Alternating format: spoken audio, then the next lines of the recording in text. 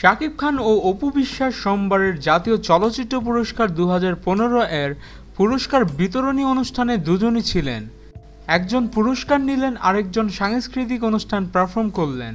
একই অনুষ্ঠানে থাকলেও বাস্তবে স্বামী স্ত্রীর দুজনের পরস্পরের সঙ্গে দেখা হয়নি। দুজনেই আলাদাভাবে আমাদের সেটা নিশ্চিত করেছেন। শাকিব খান সেরা অভিনেতা হিসেবে পুরস্কার গ্রহণ করেন। সকল পুরস্কার প্রাপ্তদের মধ্যে পুরস্কার বিতরণের পর সাংস্কৃতিক অনুষ্ঠানের জন্য বেশ কিছুক্ষণের একটি বিরতি দেওয়া হয়। এ সময় শাকিব খান অনুষ্ঠান স্থল থেকে বেরিয়ে যান। অপু বিশ্বাসের সঙ্গে দেখা হওয়ার ব্যাপারে জানতে চাইলে শাকিব খান বলেন না, তার সঙ্গে দেখা হয়নি।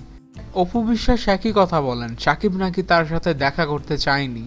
এবছরের দশ এপ্রিল অপু বিশ্বাস দীর্ঘ প্রায় এক বছরের অন্তরাল ভেঙে সামনে আসেন।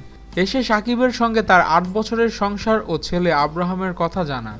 এই ঘটনার পর থেকে তাদের দুজনের মধ্যে বেশ কয়েকবার দেখা হলেও খুব একটা কথা বলতে দেখা যায়নি।